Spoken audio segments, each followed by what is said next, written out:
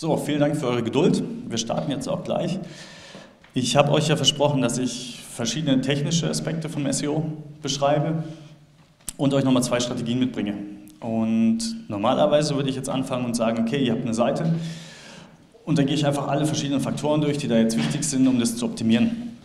Das Ganze wird aber super kompliziert und unübersichtlich und deswegen haben wir jetzt eine andere Struktur gewählt. Und zwar orientieren wir uns im ersten Teil, in dem technischen Part, wo es um WordPress geht, an den Google Webmaster Guidelines. Die haben das sehr schön aufbereitet und daran kann man sich ganz gut durcharbeiten. Und am Ende habe ich dann nochmal zwei Strategien für euch, wie ihr eben nochmal andere Inhalte und neue Nutzer generieren könnt. Und die Webmaster Guidelines, die sind hier auch nochmal verlinkt. Wichtig für euch, ich stelle die Slides auch nochmal auf Slideshare, dann könnt ihr nochmal alles nachschauen. Da sind auch die Links zu Plugins drin, wenn ich welche vorstelle. Und ich stelle relativ viele vor, die ihr bitte nicht alle verwendet, sondern eben nur die Plugins, die jetzt irgendwie für euch wichtig sind, ne, für euren Anwendungsfall. Und Google unterteilt allgemein die Guidelines und auch die Optimierungsmöglichkeiten in drei Bereiche. Das eine ist eben das Finden, das Erkennen und dann das Verwenden von der Seite. Und im Detail schaut es dann eben so aus, dass wir hier verschiedene Faktoren haben beim Finden, die Google explizit anspricht. Und wie wir die jetzt genau für WordPress auch dann nutzen, das zeige ich euch. Was jetzt kein Thema ist für WordPress oder was ich jetzt nicht anschneide explizit, das sind die Backlinks. Weil das ist jetzt nicht WordPress-spezifisch, das ist allgemein ein Faktor und deswegen lasse ich den hier aus. Interne Verlinkung ist der erste Punkt, den die Guidelines eben äh, behandeln. Und da gibt es verschiedene Bereiche. Ne? Wir haben zum einen die Beiträge, die wir gut verlinken wollen. Und da gibt es verschiedene Möglichkeiten, wie ich die jetzt untereinander besser auffindbar mache. Und Ziel habe ich hier eigentlich, dass die User lange auf meiner Seite sind, dass die damit interagieren, dass sie von einem Beitrag vielleicht noch auf einen anderen Beitrag gehen oder sich intensiv eben mit dem Thema beschäftigen. Und da habe ich verschiedene Möglichkeiten. Und der eine ist zum Beispiel dieser Table of Contents Plus, was man kennt wie von Wikipedia. Wenn ich jetzt einen super langen Beitrag habe, kann ich mit dem Plugin einfach am Anfang Sprungmarken einfügen, die dann zu den Zwischenüberschriften springen. Und damit kann ich eben auch Inhalte, die super weit unten positioniert sind, für die Google-Suchmaschine oder auch für andere Suchmaschinen dann als wichtig kennzeichnen, weil der User dann trotzdem mit einem Klick super schnell dort ist. Und was eben auch funktioniert ist, wenn ich dann verwandte Beiträge am Ende des Beitrags anzeigen möchte. Hier gibt es zwei Plugins, die gut zusammenarbeiten. Das eine ist der Automatic Post Tagger, der dann nach verschiedenen Keywords, die ihr festlegt, dann versucht, die Beiträge oder alle Beiträge, die ihr geschrieben habt, verschiedenen Themen zuzuordnen.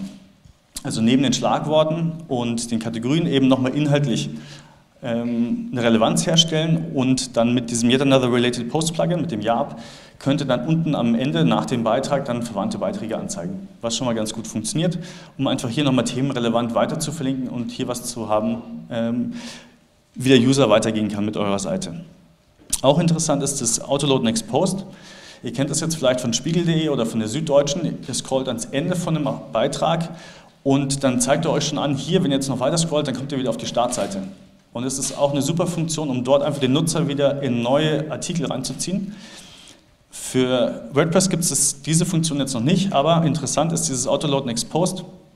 Der wird dann quasi durch das Scrollen in den neuen Beitrag reinladen und auch nochmal oben die URL-Struktur ändern. Sprich, ähm, der Benutzer kann mit dem Zurück-Button auch wieder auf den vorherigen Beitrag gehen.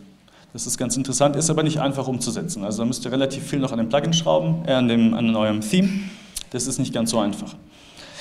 Dann gibt es natürlich noch für die interne Verlinkung eure Kategorien und eure Schlagworte, die wichtig sind. Und ein Punkt ist da einfach immer, dass ihr unterschiedliche Ebenen wählt für Schlagworte oder Kategorien, dass ihr euch da keinen internen Wettbewerb macht. Weil das sind einfach Hubseiten, die dann eure Beiträge thematisch aufbereiten sollen. Und da ist es einfach wichtig, dass ihr hier eine verschiedene oder eine andere Ebene habt zwischen den Schlagworten und den Kategorien, dass hier kein Wettbewerb entsteht. Das ist das eine. Und früher war es so, dass ich einen Beitrag am besten nur in einer Kategorie zu sortiere. Und das ist da, oder das ist insbesondere dann wichtig, wenn ich die Beitrags-URL so wähle oder die Permalinks, dass ich die Kategorie noch mit drin habe. Und wenn ich dann eben verschiedene Kategorien auswähle für den Beitrag, ist dieser Artikel über verschiedene URLs erreichbar. Das heißt, ihr habt Duplicate Content auf der Seite. Was ein negatives Signal ist, ist es aber mittlerweile kein Problem mehr von WordPress, weil die jetzt die erste Kategorie, die ihr auswählt, als die wichtigste nehmen. Und alle anderen Kategorien, die ihr dann auswählt, erhalten automatisch einen Canonical Tag auf diese erste Kategorie. Und dementsprechend ist es kein Problem mehr für Google oder für andere Suchmaschinen. Genau. Was auch interessant ist, wenn ihr jetzt eben viel mit äh, Schlagwortseiten und mit Kategorieseiten arbeitet, dann könnt ihr hier nochmal mit zwei Plugins, das sind die ersten beiden, auf diesen Kategorieseiten eben nochmal den äh, Editor im Backend bearbeiten, sodass ihr da auch diesen ähm, visuellen Editor habt und dort auch eben HTML reinsetzen könnt. Sprich, ihr könnt da nochmal Bilder reinsetzen in die Kategoriebeschreibung oder sonst irgendwelche Elemente. Und damit könnt ihr die Seiten eben nochmal individuell aufbereiten. Genau. Letzter Punkt, Breadcrumbs sind auch super, um die eben dann, ähm, um die interne Verlinkung oder auch nochmal die Struktur der Seite klar darzustellen. Dieses Plugin, oder es gibt verschiedene, und hier ist eben auch diese Schema-Org-Auszeichnung gut umgesetzt, sprich auch Suchmaschinen verstehen dann hier diese Struktur. Gehen wir noch ein bisschen weiter. Archive gibt es in WordPress zu Genüge. Und je nachdem, wie ihr eure URL-Struktur gewählt habt, habt ihr dann nochmal monatsbasierte Archive, die unsinnig sind, weil es wird keiner dann mehr suchen, was für Beiträge wurden im Mai 2015 geschrieben. Das macht keiner. Insofern ist es nicht relevant. Und ein Problem ist natürlich dann, wenn ihr nur einen Autor habt für die Seite, das Autorenarchiv ist dann eben identisch von diesem Autor mit der Startzeit oder überhaupt mit, mit allen Beiträgen, die ihr habt. Und deswegen sollten die, wenn ihr nur einen Autor habt, müssten die ausgeschaltet sein. Und interessanter Punkt, das ist dieses Plugin hier, Simple Yearly Archive, das, da habt ihr dann einfach ein Archiv eurer Beiträge nach Jahren sortiert. Und das kann schon mal ganz interessant sein. Genau, wir gehen nochmal weiter. Interne Verlinkung, Siloing. Das ist auch so eine Taktik, wenn ich jetzt super viele Seiten habe und auch verschiedene Themengebiete äh, bediene. Dann kann ich damit einfach nochmal themenrelevant andere Seiten verlinken. Und über diese Plugins kann ich das eben so machen, dass ich in der Sidebar jetzt definiere, welche anderen Menüs zum Beispiel je nach Kategorie ausgespielt werden. Das heißt, ich kann, wenn, ich, wenn meine Seite zum Beispiel Tee behandelt oder Kaffee behandelt oder beide Themen, ich habe eine Kategorie Tee und ich habe eine Kategorie äh, Kaffee, kann ich eben in diesen Kategorien, in diesen Beiträgen nochmal andere Seiten statisch verlinken. Ich kann dadurch halt ein Themencluster bilden über diese interne Verlinkung. Genau, nächster Punkt, Sitemap. Gibt es ja super viele Plugins dafür, die das machen. Meistens eben die XML und auch die SEO-Plugins erstellen euch eine XML-Sitemap. Wichtig an der Stelle, Google fordert explizit in den Guidelines auch eine HTML-Sitemap, die die Nutzer nutzen können. Ja? Und es bieten dann eben die SEO-Plugins nicht. Dafür gibt es dann Simple Sitemap zum Beispiel als Plugin, die euch dann einfach äh, eine Sitemap erstellen, die dann auch die Nutzer aufrufen können, wenn ihr dann irgendwo den Link dazu einsetzt. Vorteil an der Stelle, wenn ihr das auf der Startseite irgendwo im Footer habt zum Beispiel, könnt ihr über zwei Klicks jeden Beitrag auf eurer Seite dann aufrufbar machen. Das ist super praktisch. Genau. Und sonst eben die SEO-Plugins, Standard. Die HTTP-Header, das ist eine super interessante Sache, gerade wenn ihr große Seiten habt oder wenn ihr einen Online-Shop habt, euer Kunde, und ihr betreibt in einem Verzeichnis davon den WordPress-Blog als Magazin oder sonst irgendwas, Kaufberater. Und bei großen Seiten ist es natürlich dann immer eine Frage, wie kommt Google oder allgemein Crawler durch die Seite mit dem Crawl-Budget. Und meistens ist es eben so, dass nicht genügend Ressourcen für eure Seite zur Verfügung stehen, dass alle Seiten rechtzeitig gecrawlt werden. Und mit diesem HTTP-Header kann ich eben sagen, wann wurde die Seite das letzte Mal bearbeitet. Google speichert die Daten ab und bei der nächsten Anfrage vom Crawler kommt nur noch die Frage, hat sich der Inhalt geändert oder nicht. Und wenn er sich eben nicht geändert hat, dann schickt euer Server einen äh, 304 äh, Statuscode zurück. Google weiß, okay, es hat sich nichts geändert und geht dann zur nächsten Seite. Sprich, es muss gar kein Datendownload mehr stattfinden. Super praktische Sache.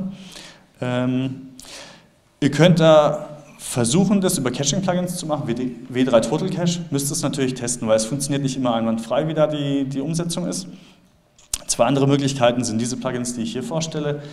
Und das ist super einfach. Ihr, ihr konfiguriert das einmal und automatisch wird dann eben letzte, das, Ende, das letzte, letzte Änderungsdatum dann in diesen Last Modified Header eingefügt und ihr könnt dann eben mit dem Crawl-Budget besser haushalten. Genau. Anderer Punkt, den eben Google vorschlägt, ist, dass sie das Crawling ähm, mit der Robots.txt steuert. Normalerweise schaltet ihr das eigentlich nur für den Admin-Bereich aus oder für administrative Seiten. Und Wichtig an der Stelle ist, dass sie eben die CSS-Sachen und das JavaScript freigibt, damit eben auch die Seite für, für die mobilen Crawler sichtbar ist und auch als mobilkompatibel bewertet werden kann.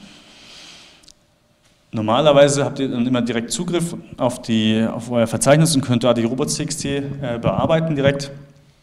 Zum Beispiel damit mit FTP oder sowas hochladen. Es gibt sogar ein Plugin dafür, wer es nutzen möchte. Ähm, wichtiger sind eigentlich die Regeln, die die OnPage.org ähm, vorschlägt, oder die haben sie ganz gut aufbereitet, die könnt ihr euch dann nochmal anschauen, wie ihr da verschiedene Crawler zum Beispiel ausschließen könnt oder für manche Crawler auch nochmal einen Crawl-Delay hinterlegen könnt, also wenn euer Server eh schon am Maximum ist von der Leistungsgrenze, dass ihr nochmal ein, äh, einen Intervall habt, dass jetzt Bing zum Beispiel eine gewisse Zeit warten muss, bevor dann wieder die nächste Seite crawlt. Aber wenn ihr an der Stelle seid, dann ist es auch suboptimal, weil ihr wollt ja eigentlich, dass die Suchmaschinen möglichst schnell alle von euren Seiten kennen, um dann eben auch die Nutzer darauf hinzuleiten. Jetzt kommen wir schon zum nächsten Punkt, das ist jetzt das Erkennen. Das sind super viele Punkte, wir gehen jetzt im Detail eben durch. Und wichtig für Google oder auch alle anderen Suchmaschinen ist eigentlich die Relevanz. Daran arbeiten sie die ganze Zeit. Früher waren Links das Wichtigste. Ne?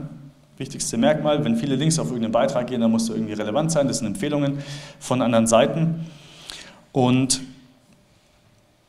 es ist immer noch so, dass eben jetzt durch andere Faktoren auch versucht wird, den relevantesten Artikel zu einer gewissen Suchanfrage eben rauszuarbeiten. Und wichtig hier an der Stelle, und das passiert eben in vielen Blogs, ihr müsst euch fokussieren. Auf eurer Seite muss eben ein Beitrag für jedes Thema sein. Und wenn ihr ein Thema zu fein in super viele Beiträge aufteilt, dann macht ihr euch internen Wettbewerb. Und Google oder andere Suchmaschinen wissen dann eben nicht mehr für diese Suchanfrage, welche Seite soll dafür überhaupt ranken. Also ihr macht euch ja selber Wettbewerb und oft sieht man das dann, dass man durch die Suchergebnisse sich durchklickt, man sieht, okay, ich ranke eigentlich auf dem Thema, was kaum Wettbewerb hat, gar nicht auf Seite 1. Ich klicke mich durch, dann bin ich vielleicht auf Seite 2 mit zwei Beiträgen. Dann habe ich da an Position 13 was, ich habe an Position 15 was. Klares Signal, dass ihr hier einen internen Wettbewerb habt. Und das seht ihr auch in den Webmaster-Tools, in den Search-Konsole. Könnt ihr euch anschauen, für welche Suchanfragen welche Seiten ranken. Und normalerweise sollte da immer nur eine Seite ranken. Und manchmal seht ihr auch, dass dann zwei URLs ranken und sich dann abwechseln. Und an der Stelle ist dann ganz klar der Rat hier, konsolidiert die Seiten. Macht daraus eine Seite, wenn es thematisch möglich ist. Andernfalls müsst ihr diese Seiten eben nochmal vom Inhalt her stärker trennen. Genau. Wie könnt ihr sowas finden? Habt ihr verschiedene Möglichkeiten. Ihr könnt einmal eben die Site-Abfrage von Google machen, sprich ihr macht Site, Doppelpunkt, eure Domain, äh, Leerzeichen und dann das Keyword, was jetzt für euch relevant ist, die Suchanfrage. Und dann zeigt euch Google schon, welche Seiten aus Sicht von Google jetzt die relevantesten von eurer Seite sind. Dann könnt ihr jetzt durchgehen und gucken, ist das überhaupt die Seite, die da ranken soll? Also ihr könnt eine Site-Abfrage machen und je nachdem, wie die Seiten strukturiert sind, dann ist da ganz oben dann das Impressum mit dabei unter Datenschutz und so weiter, nur weil die halt gut verlinkt sind, aber halt überhaupt nicht themenrelevant. Und andere Tools helfen da eben auch, OnPage.org Free. Das funktioniert ganz gut für Seiten, ich glaube bis zu 100 Seiten. Also wenn ihr einen kleinen Blog habt, könnt ihr damit dann auch nochmal nach äh, Duplicate Content oder Near Duplicate Content schauen oder Sideliner.com.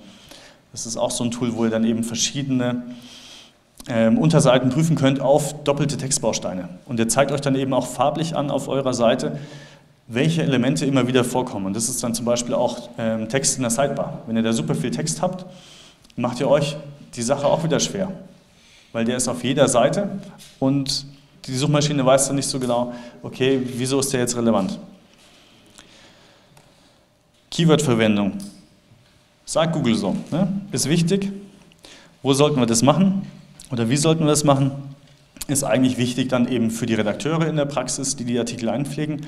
Das heißt, ich ähm, brauche ein Tool, was einfach nochmal kurz mir visuell darstellt, ob ich die jetzt an den entsprechenden Stellen verwendet habe. Ist es in meiner H1 drin? Habe ich das vielleicht nochmal in Zwischenüberschriften oder in einer abgewandelten semantischen Form in den Zwischenüberschriften? Habe ich das Keyword in meinem Inhalt verwendet? Habe ich das in meinem Alttext von irgendwelchen Bildern nochmal mit drin? Und genau, das sind jetzt so die, die wichtigsten Punkte in der Praxis an der Stelle und da helfen euch einfach dann so klassische SEO-Plugins an der Stelle. Title-Elemente, Alt-Attribute, die hatte ich jetzt eben schon angesprochen. Wichtig hier eben, weil auch wenn die ja, Bilderkennung oder auch Gesichtserkennung von den Suchmaschinen immer besser wird, ist es ja immer noch so, dass die Alt-Attribute ganz wichtig sind. Das greift eben auch für die Screenreader so, dass der Inhalt von den Bildern eben nur über diese Alt-Text bestimmt wird und Title-Text. Und damit ihr das eben nochmal pflegen könnt, damit es einfacher wird und ihr es im HTML nicht pflegen müsst, gibt es auch nochmal verschiedene Plugins. Dann haben wir zum einen dieses SEO-Friendly Images und was auch nochmal funktioniert und auch ganz gut ist, wenn ihr nochmal auf andere Seiten verlinkt, dann könnt ihr diesem Link nochmal einen Titel mitgeben. Das heißt, er hat auch nochmal eine Information, wenn man jetzt mit der Maus über diesen Link fährt, was erwartet einen auf der anderen Seite, wenn man diesem Link folgt. Und das funktioniert zum Beispiel mit diesem Plugin Restore Link Title Field. Und dann kann ich einfach in WordPress nochmal diesem Link nochmal einen Titel mitgeben. Einfach eine Beschreibung, was auf der nächsten Seite kommt. Genau, klare Seitenhierarchie, auch super wichtig. Eben über die URL-Struktur zum einen. Ne? Wenn ich jetzt Permalinks habe, dann kann ich das so machen, dass ich dann nochmal die Kategorie einfüge und dann den Beitrag erst. Dann ist schon mal ganz klar, okay, alle Beiträge, die in dieser Kategorie sind, ähm, gehören einfach zusammen. Ne? Dann habe ich einen, einen Themencluster, den auch eine Suchmaschine verstehen kann, dass alle Beiträge jetzt zu diesem Thema dazugehören. Und wenn ich jetzt eine Breadcrumb dazu habe, dann ist es auch eine logische Reihenfolge, dass ich dann einfach auch in der URL, wenn ich die manipuliere, auf diese Kategorieseite komme und die darüber dann auch nochmal einen Backlink erhält. Das heißt, ich stärke die Seiten nochmal mit der internen Verlinkung, funktioniert eben darüber ganz gut. Und ob das auch wirklich so ist oder ob dann eben euer Impressum super viele Links bekommt, euer Datenschutz, also die Seiten, die ihr eigentlich gar nicht wollt, dass die ranken, ähm, oder eben nochmal andere unwichtige Seiten aus eurer Sicht, könnt ihr dann auch nochmal Tools nutzen, kostenlose wie OnPage.org, die dann auch nochmal eine grafische Darstellung machen eben von den ganzen Inlinks von euren Seiten. Also, ähm, die nennen es OPR. Wie viele von euren Seiten verlinken jetzt auf das Impressum? Wahrscheinlich alle. Und dann könnt ihr nochmal prüfen, soll das überhaupt so sein? Und dann findet ihr eben auch Seiten, die vielleicht für euch wichtig sind, aber super wenig Links haben. Und dann könnt ihr nochmal über, überdenken, wie ihr vielleicht diese Seiten gezielt intern nochmal besser verlinkt. Genau. Medien, auch super wichtig, dass ihr die verwendet. Und da gibt es natürlich verschiedene. Ne? Bilder haben verschiedene Nutzen. Und zum einen ist es so, es lockert einfach nochmal den Text auf. Ne? Wenn ich Leser bin, ich komme auf eine Seite, ich will nicht einfach nur so eine Textwüste haben. Ich will Bilder haben, die das ein bisschen auflockern, die das vielleicht nochmal veranschaulichen, die vielleicht mal einen Prozess äh, mir klar machen. Und viele Leute machen da halt auch den Fehler, dass sie erstmal zu viele große Bilder verwenden, also viel größer als eigentlich den, der Darstellungsbereich und auch das falsche Bildformat. Und da gibt es die einfache Faustregel, wenn ich ein Logo habe, dann nehme ich das dafür in einem PNG, weil ich habe wenige Farben und dann ist PNG einfach das beste Bildformat dafür. Und im anderen Fall, wenn ich ein Foto habe, nehme ich ein JPEG. Ganz einfach. Wenn ich das Ganze vertausche, und es machen auch viele, viele Logos werden als JPEG hochgeladen, ich kann die dann später versuchen nochmal zu komprimieren, aber auch mit Tools wie ähm, hier diesem Kraken.io, was das einzige kostenpflichtige Tool ist, was ich hier vorstelle, dieser Dienst, selbst der kann aus dem JPEG nicht mehr so viel rausholen wie äh, einem PNG. Also das Speaker-Logo zum Beispiel, von der Konferenz hier, ich meine, das war ein äh, PNG, das ist alles okay, aber es, ich habe es von einer anderen Konferenz gesehen, das war ein JPEG. Und wenn ich das eben nochmal hier durch diese Komprimierungstools durchlasse, wird es immer noch nicht so klein, wie wenn ich daraus ein PNG mache. Und das PNG ist halt dann einfach mal halb so groß. Habe ich mir schon mal viel gespart. Genau. Was hier auch nochmal hilft, wenn ihr viele Autoren habt, ist das Tool Insanity. Da könnt ihr einmal eben durchgehen durch euren Blog und schauen, welche Bilddimensionen verwendet mein Theme überhaupt? Habe ich überhaupt Bilder, die breiter sein müssen als 1000 Pixel? Und wenn es eben nicht so ist, dann könnt ihr in einem Insanity festlegen, dass das eure maximale Breite ist. Und auch wenn jetzt irgendein Autor ein Foto mit 5 oder 12 Megapixel hochlädt, was erstmal lange dauert, wird es dann aber runtergerechnet und er kann auch nur noch das Bild mit 1000 Pixeln einbetten. Und damit wird dann nicht mehr so viel skaliert. Das funktioniert ganz gut. Und auch für die Bilder, wenn ihr super viele Bilder auf einer Seite habt, könnt ihr natürlich nochmal ein Lazy Load verwenden, was ganz gut funktioniert, eben auch für Videos, dieses Plugin, was ich hier vorstelle. Ein anderes Thema, was jetzt mit, ähm, ich glaube, der vorletzten WordPress-Version Einzug gehalten hat, sind diese Responsive Images, die allerdings nicht ganz so gut funktionieren. weil dort eben insgesamt der Darstellungsbereich berücksichtigt wird und eben außer Acht gelassen wird, wenn ihr da noch eine Sidebar habt. Und dementsprechend sind dann eben die Bilder dann trotzdem noch skaliert und nicht optimal in der richtigen Größe. Und mit Responsify WP könnt ihr das eben einstellen. Es ist super aufwendig, dass ihr hier responsive Bilder, also sprich im Quellcode werden verschiedene Bildquellen hinterlegt und je nachdem, welches Gerät oder welche Auflösung das Gerät hat, dass die Seite aufruft, wird halt ein anderes Bild geladen. Und das funktioniert auch für Retina-Bilder. Ist ein bisschen Aufwand, aber funktioniert ganz gut. Gehen wir weiter. Videos, auch super, weil manche Inhalte kann ich vielleicht im Video viel besser darstellen, als jetzt in der riesenlangen Textwüste. Oder ich biete einfach beides an. Ne? Ich habe einmal eine Beschreibung von irgendeinem Vorgang im Text, biete dazu aber nochmal anderen Usern nochmal ein Video an. Nicht jeder will das Video anhören, wenn er jetzt gerade unterwegs ist, dann liest er vielleicht lieber.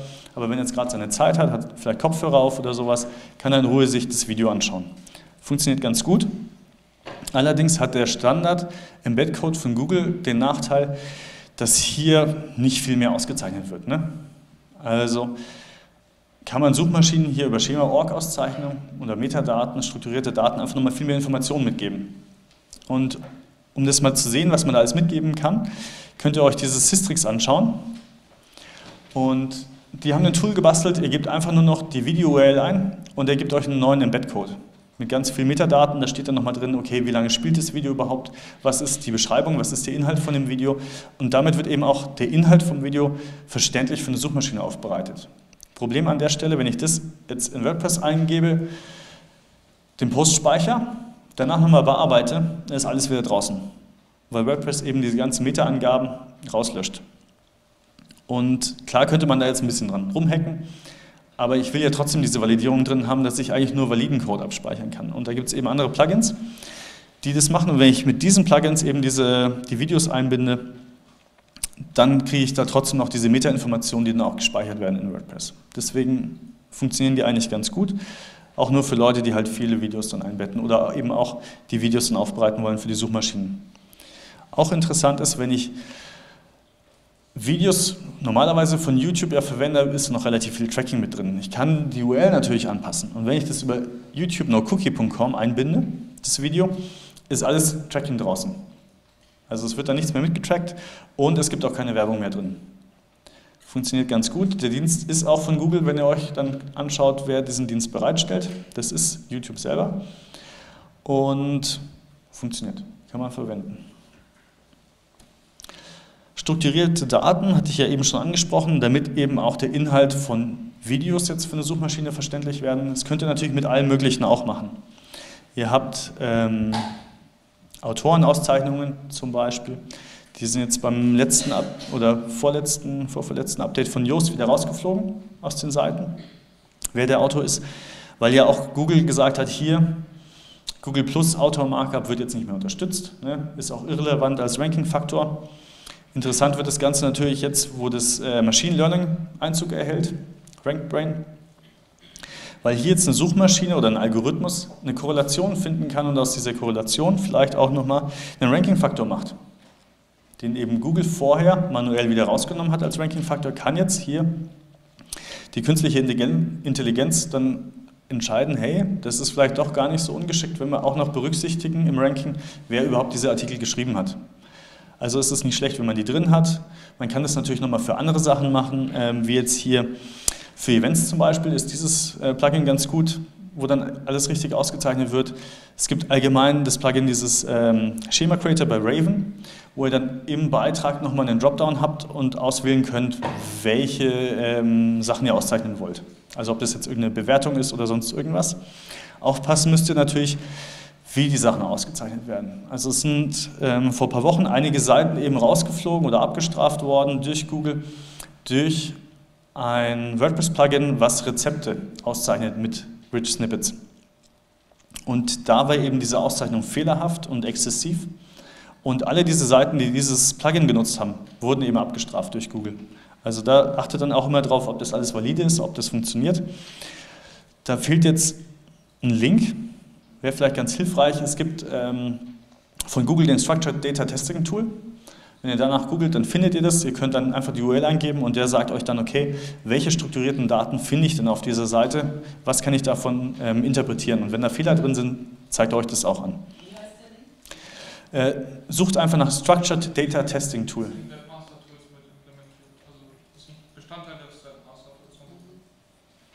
Das ist ein externes Tool. Also das ist nicht in der Search-Konsole mit drin. Er zeigt dir zum Teil Fehler an, aber er zeigt dir nicht alle an. Über dieses Tool findest du eben explizit alle Sachen, die Google verständlich aufbereitet sind und eben auch nochmal andere Auszeichnungen, die drin sind, aber vielleicht nicht Google optimiert ausgezeichnet sind.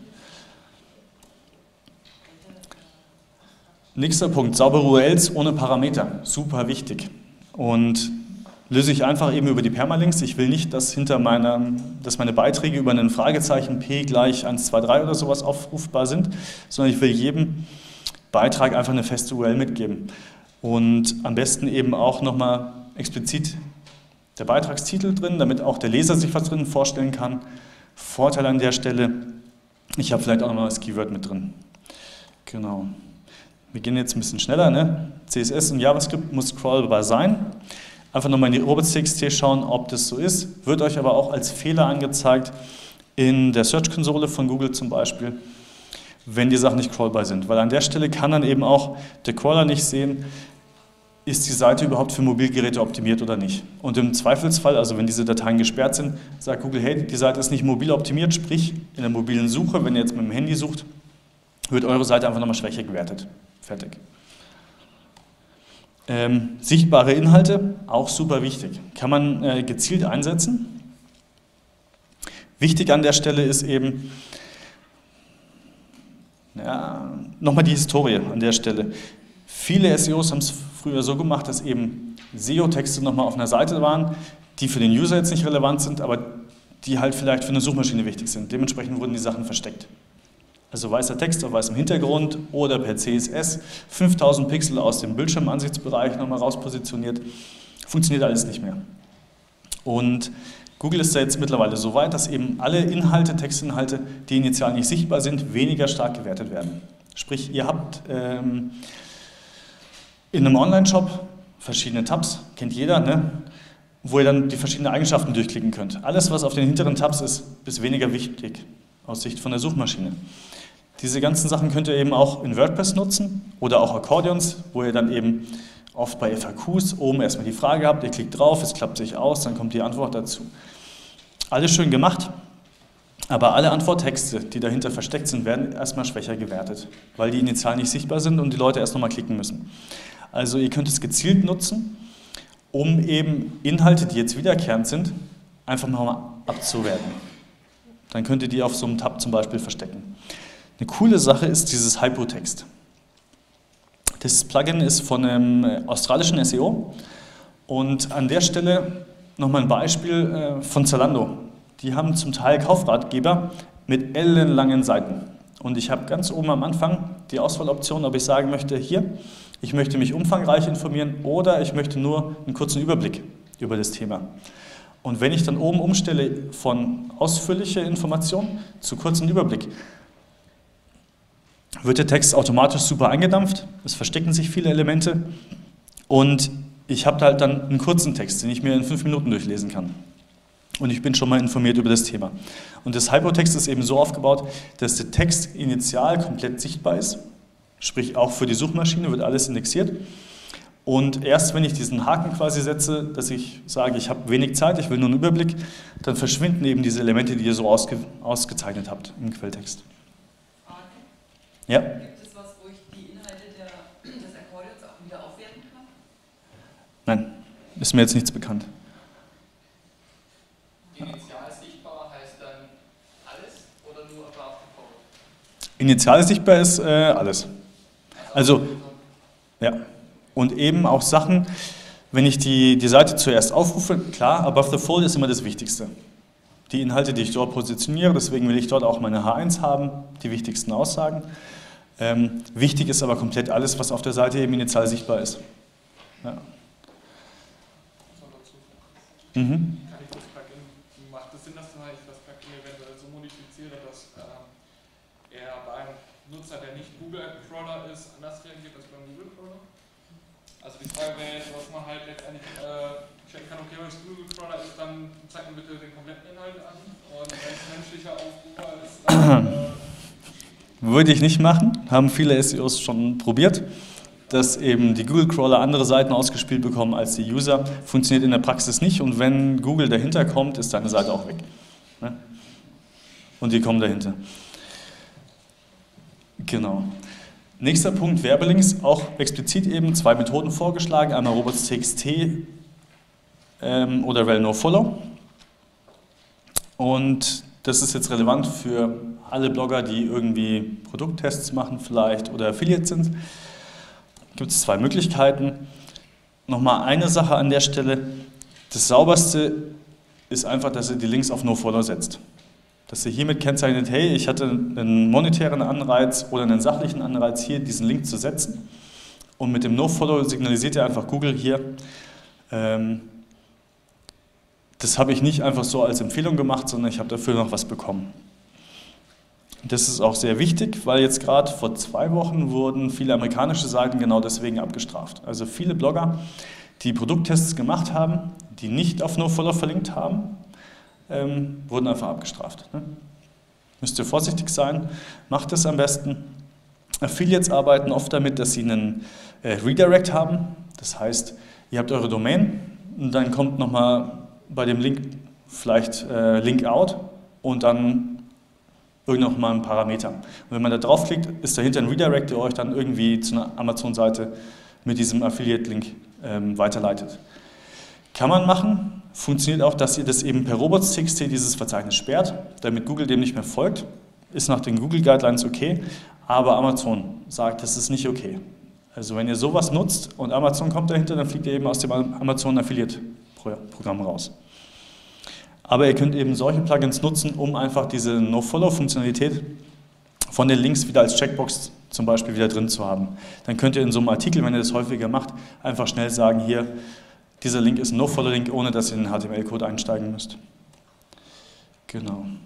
Google Webmaster Guidelines, das Verwenden von der Seite. Auch wieder super interessant.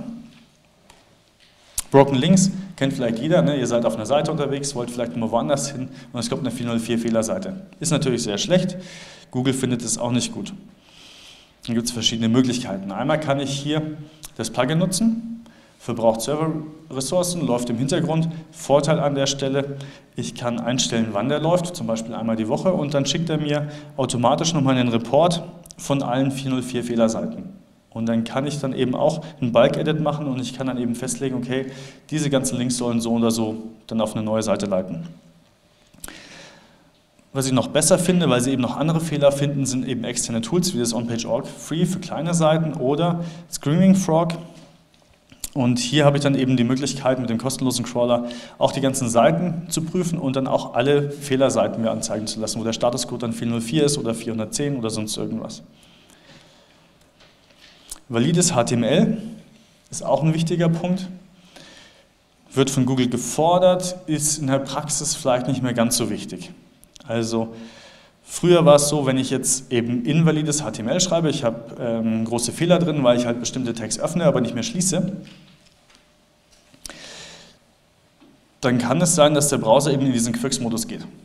Und auf den heutigen Rechnern ist das aber kein Thema mehr, weil ich habe so viel Leistung, dass er ohne Probleme auch in diesem Fehlerkorrekturmodus die Seite mir schnell anzeigt. Problematisch ist es auf älteren Handys, wo vielleicht dann weniger als 2 GB Arbeitsspeicher drin sind, da merke ich dann noch eine Verzögerung, aber sonst nicht mehr. Trotzdem ist es natürlich immer gut, wenn ich jetzt ein Theme verwende oder allgemein meine Seite valides HTML hat und da gibt es verschiedene Fehlerquellen. Das eine sind eben Themes. Da könnt ihr jetzt erstmal eine Demo-Seite von einem Theme hier durch diesen W3C-Check äh, laufen lassen und gucken, ist es überhaupt valide geschrieben, bevor ihr das kauft oder verwendet. Das ist ein Punkt. Ähm, anderer Punkt ist, ihr könnt auch durch Security-Plugins invaliden Code bekommen. Und ein Beispiel hier ist das iTheme Security. Und ihr könnt ja da die Funktionalität von dieser XML-RPC deaktivieren. Und was der an der Stelle macht, ist, der nimmt aus dem Code einfach nur das Link-Element weg, aber der Link im HTML steht quasi noch drin. Das heißt, ihr habt ein leeres Link-Element an der Stelle und das ist nicht mehr äh, valide. Also das sind einfach Funktionen, die gut funktionieren, um die Seite vielleicht nochmal sicherer zu machen, aber an der anderen Stelle eben den Code invalide machen. Ladezeitoptimierung könnten wir einen ganzen eigenen Vortrag machen. Ich finde das sehr spannend, aber ich habe ein paar Punkte mitgebracht, die ihr auch schnell umsetzen könnt. Und warum ist das wichtig? Weil viele Leute haben vielleicht zu Hause eine super gute Anbindung, aber wenn sie jetzt unterwegs sind, im Café oder in der U-Bahn ganz besonders, da funktioniert es einfach nicht mehr so viel, weil ich habe nicht mehr so gut, weil ich habe super viele Leute, die jetzt irgendwie sich in die gleiche Mobilzelle einwählen und jeder will irgendwie im Internet surfen oder irgendwas machen. Sprich, ich muss gucken, dass ich meine Seite schneller bekomme. Der Jan Thiel hatte eben einen Vortrag, der auch sehr gut war, wo er eben auch auf dieses Caching eingeht. Und das ist ein absolutes Muss, dass ich eben nicht mehr für jede Anfrage von einem Benutzer erstmal dann wieder eine Datenbankabfrage habe und dann irgendwie diese Seite aufgebaut wird, bevor die ausgeliefert wird. Also absolutes, absolutes Muss ist ein Caching. Ich mag da sehr gerne das W3 Total Cache, weil ich da eben sehr im Detail alle Kleinigkeiten einstellen kann. Ich muss auch sehr viel testen, weil im Zweifelsfall funktioniert die Seite eben nicht mehr so oder auch nicht mehr so auf Mobilgeräten, wie ich das gerne hätte. Also testen ist da Pflicht. Ein cooles Plugin ist dieses ähm, Auto-Optimize, weil ich habe hier nochmal eine Möglichkeit, ich habe ein eigenes Textfeld, wo ich ein CSS eingeben kann, was above the fold quasi inline schon geschrieben wird. Sprich, der Browser muss nicht mehr erstmal die CSS-Datei laden, um schon mal die Seite zu rendern, den above the fold Bereich sondern ich habe den schon mal initial im Text drin.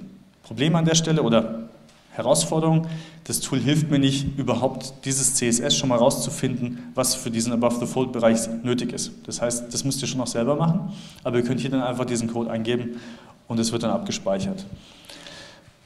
Jetzt gibt es noch mal ein paar andere Tipps, die ich hier mitbringe. Und das eine ist, wenn ihr Webfonts verwendet, meistens von Google Fonts, könnt ihr die Sachen auch lokal hosten. Vorteil an der Stelle ist, ihr spart euch nochmal den DNS-Lookup zu einer anderen Ressource. Hat auch nochmal einen datenschutzrechtlichen äh, Vorteil, wenn ihr zum Beispiel auf Google-Dienste verzichten wollt, wird hier dann eben auch kein, keine Verbindung zu Google aufgebaut. Dann gibt es die Möglichkeit, dass ihr im Header nochmal externe Ressourcen einbinden könnt. Und Hintergrundbilder könnt ihr zum Beispiel per CSS definieren und eben auch abhängig von der Bildschirmgröße. Sprich, wenn ich mobil bin, wird ein Hintergrundbild gar nicht mehr geladen, sondern eben nur, wenn ich auf dem Desktop unterwegs bin. Wie das im Detail aussieht, seht ihr hier. Das ist jetzt mit dem Tool webpagetest.org. Damit kann man das sehr gut testen, die Ladezeit oder eben auch die Abhängigkeiten. Und wenn ich jetzt dieses Pre-Connect im Header verwende und meine externen Ressourcen ähm, dort schon direkt anspreche, dann verbindet sich der Browser vorher schon eben mit diesen externen Ressourcen, sprich hier in dem Fall explizit mit äh, dem Google Tag Manager, baut er eine Verbindung auf, dann mit äh, Google Analytics und dann nochmal das Double-Click von Google. Und das ist eben dieser Block, der wird viel früher geladen, als es normalerweise im Code üblich wäre, weil der Tag Manager zumindest auf dieser Seite, das ist jetzt nicht äh, Best Practice, aber der wird erst im Footer angesprochen oder geladen. Normalerweise würde es dann auch erst weiter hinten dann aufgerufen werden und ich habe dadurch eine schlechtere Ladezeit. Und der Vorteil an der Stelle ist, diese ganzen Verbindungssachen, DNS-Lookup und dann die HTTPS-Verbindungsaufbau, passiert direkt schon am Anfang und am Ende wird dann nur noch ähm, die Datenübertragung stattfinden. Dann gibt es Hintergrundbilder, hatte ich gerade schon angesprochen. Wenn ihr das eben im CSS hinterlegt, Hintergrundbilder vielleicht für eure Seite dann festlegt, könnt ihr das mit so einem Code so steuern, dass die Teile dann eben nur auf großen Monitoren geladen werden, nicht mehr mobil. Auch interessant ist das AMP oder AMP, Projekt von Google, wo eben die ganzen Elemente von der Seite, die sie langsam machen, rausgenommen werden.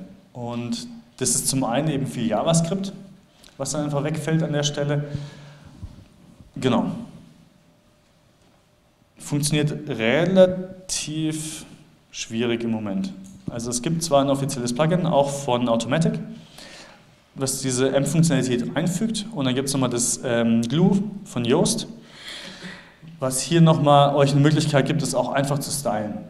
Allerdings funktioniert das nicht zum Beispiel für, für statische Seiten und es funktioniert nicht, wenn ihr eine statische Startseite habt dann funktioniert diese Sache noch nicht. Also hier würde ich noch warten, ein paar Monate, bis diese Funktionalität wirklich ausgereift ist und auch kompatibel ist. Aber damit habt ihr dann super schnelle Mobilladezeiten. Ist halt für eure User dann super, wenn die in der U-Bahn sind oder sonst irgendwo, weil dann lädt es trotzdem. Responsive Design müsst ihr einfach machen, aber das sind ja die meisten WordPress-Themes sowieso, wenn die neuer sind. Das funktioniert ja ganz einfach. Ähm, HTTPS, auch ein wichtiger Faktor, wurde jetzt letztens erst umgestellt bei WordPress.com gehosteten Seiten, wurde Let's Encrypt ähm, genutzt. Solltet ihr auch sonst nutzen, weil es gibt verschiedene Punkte. Einmal ist es die Voraussetzung vom Browser her, dass ihr HTTP 2.0 nutzen könnt. Also es können mehrere parallele Verbindungen zu eurem Server aufgebaut werden und es können parallel halt mehrere Ressourcen runtergeladen werden. Also es ist ein Performance Booster an der Stelle.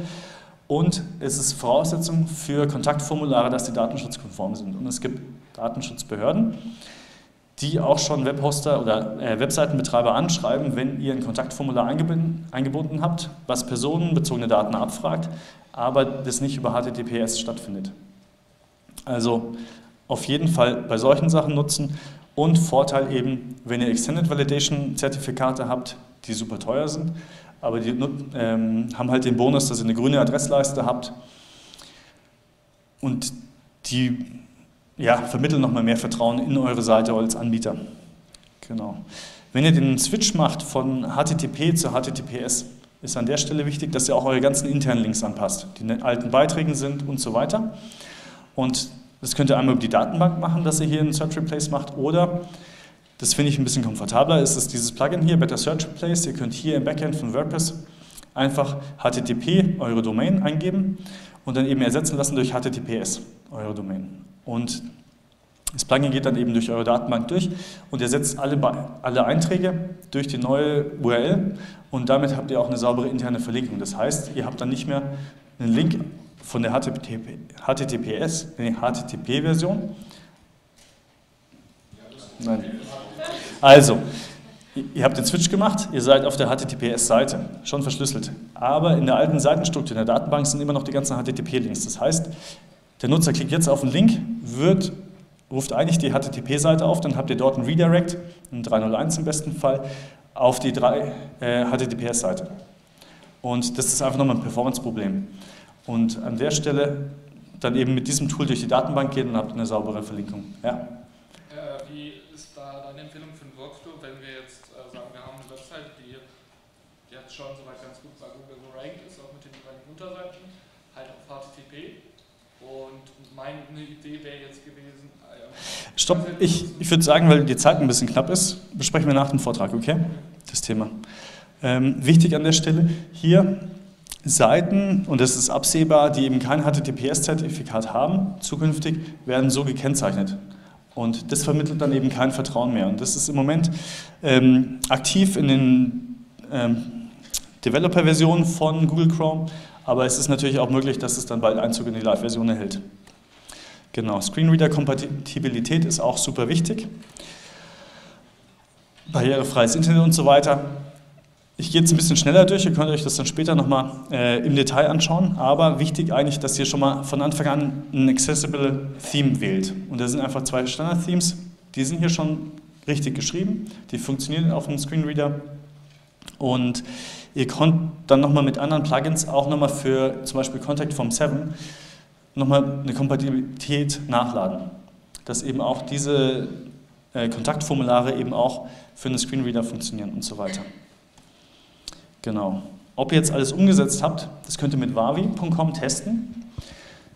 Das ist ein Tool, nicht von Google, sondern ein anderer, der hat sich einfach die Arbeit gemacht, um eben die ganzen Punkte, die jetzt in den Google Webmaster Guidelines vorgestellt werden, um die einfach automatisiert zu prüfen. Da seht ihr dann auf einen Blick, okay, welche Punkte habe ich denn jetzt schon umgesetzt, welche funktionieren vielleicht noch nicht so gut. Genau. Jetzt gehen wir in die Strategie, wie ihr jetzt eure Seite vielleicht noch mal ein bisschen ähm, aufpeppen könnt. Und einmal könnt ihr nochmal einmal könnt ihr nochmal Themen eben ausbauen oder eben ähm, neue Themen bespielen. Und Themen ausbauen. Das heißt, ihr habt schon ein Thema, was ihr behandelt. Es gibt verschiedene Seiten, um einfach nochmal zu sehen, okay, zu diesem Thema habe ich da vielleicht nochmal andere Bereiche, die ich noch gar nicht besprochen habe, die vielleicht auch nochmal für dieses Thema relevant sind. Und gibt es ein cooles Tool, Answer the Public, gibt euch nochmal einen ähnlich wie in der Mindmap, euer Keyword in der Mitte und dann verschiedene Suchanfragen, die mit diesem Thema in Verbindung stehen. Funktioniert auch mit Hypersuggest, wo ihr dann eben zu einem gewissen Keyword nochmal Modifier dann dazu habt oder halt einfach nochmal eine Erweiterung von diesem Keyword und ihr könnt dazu dann eben auch nochmal W-Fragen anschauen. Und so kommt ihr vielleicht nochmal auf neue Ideen, wie ihr diesen Beitrag nochmal holistischer oder einfach umfangreicher gestaltet, um einfach nochmal alle Fragen, die eure User haben könnten, wenn sie in Google suchen, ähm, abzuholen und deren Fragen zu beantworten.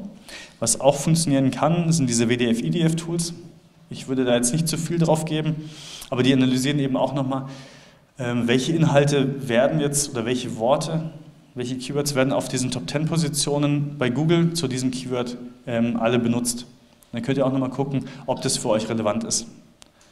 Genau. Das ist viel spannender, wenn ihr nochmal neue Themen aufgreifen wollt. Und normalerweise ist es so, ihr fangt eigentlich immer unten an. Ne? Das ist das klassische SEO. Ihr habt hier euer Keyword, ihr wollt dann irgendwie diesen Fernseher von irgendeiner Marke pushen ne? und ihr optimiert den dann irgendwie. Oder ihr geht eine Stufe höher und ihr sagt hier, ich will auf neuen LED-TV optimieren oder halt in einer gewissen Zollgröße und so weiter. Ist sehr kompetitiv und ihr könnt aber viel früher anfangen. Ihr geht einfach nochmal zurück und überlegt euch, wieso sucht da jetzt jemand nach diesem Produkt? Oder nach diesem Thema. Was ist eigentlich das Problem, was er dahinter hat? Und er kann ja viel früher einsteigen und er will seinen Fernseher einschalten und er hört nur noch ein Klacken. Und irgendwas funktioniert da nicht mehr. Und was macht man in so einem Fall? Man googelt erstmal. Und wenn ihr dazu jetzt eine Ressource habt, dass das Klacken zum Beispiel von einem defekten Kondensator ist, dann könnt ihr da ihm eine super hilfreiche Informationsseite anbieten. Vielleicht nochmal ein Video dazu, um das Ding aufzuwerten, oder nochmal eine Liste mit den verschiedenen Schritten, wie ihr diesen Kondensator austauschen kann. Und ihr könnt halt jetzt User abfangen, sehr früh, und dann schon mal eben auf eure Seite ziehen.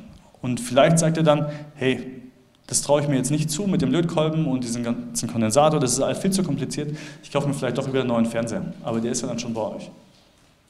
Und so könnt ihr einfach nochmal zurückgehen und euch überlegen, eure Inhalte für was, für welches Problem oder für welches Anliegen von den Benutzern ist es überhaupt die Lösung. Und vielleicht wollt ihr dann schon viel früher einsteigen. Genau. Ihr könnt mir gerne noch eure Fragen schicken, eben auf Twitter oder sonst wie. Ich bin jetzt auch noch da und beantworte gerne eure Fragen.